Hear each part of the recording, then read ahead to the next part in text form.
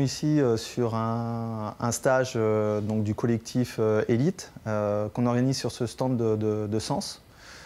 C'est un stand qui accueille ce collectif depuis de nombreuses années, donc qui est habitué à nous accueillir. Le gros avantage, c'est que ce stand est doté sur le 10 mètres et sur le 50 mètres de cible électronique ce qui permet de gagner du temps, de s'entraîner dans les meilleures conditions qui soient. Et c'est euh, le cas de, des stands comme celui de Sens. Euh, pense que toi, tu penses trop à ce que tu, viens de faire. En termes d'athlètes, ça représente euh, un collectif de 10 à 12 athlètes on monte en puissance puisque sur la dernière Olympiade, on avait euh, cinq athlètes qui étaient préparés justement pour euh, préparer les Jeux paralympiques. L'idée, c'était de, prendre un collectif euh, un petit peu plus élargi pour pouvoir construire l'avenir avec des, une nouvelle génération.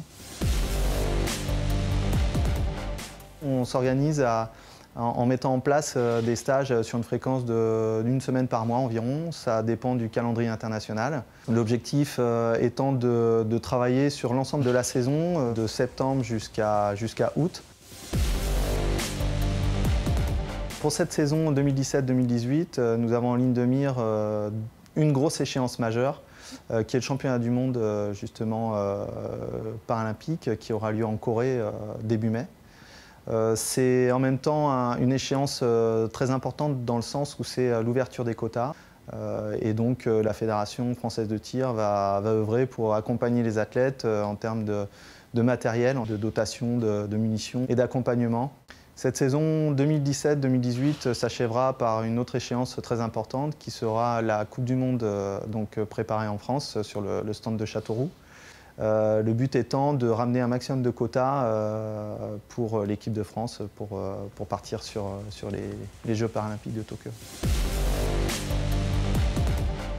Alors le paratir, ça concerne tout ce qui, est compétition, donc de l'échéance départementale, l'échéance régionale, et puis les échéances nationales et internationales.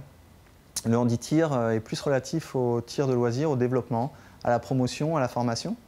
Donc au niveau des différents départements de la, Fédération française de tir, le département haut niveau, donc avec le paratir dont je m'occupe, euh, les départements euh, du développement, euh, le département de la formation, on travaille de concert justement pour que dans chaque club, dans chaque ligue, il puisse y avoir des gens qui soient formés et qui puissent véhiculer le bon message, euh, donner le maximum d'informations aux personnes en situation de handicap et favoriser justement euh, la, pratique du tir pour, pour tout licencié de la fédération.